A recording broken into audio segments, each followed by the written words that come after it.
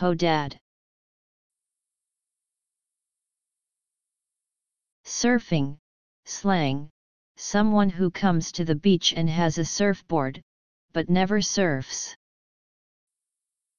H O D A D Hodad.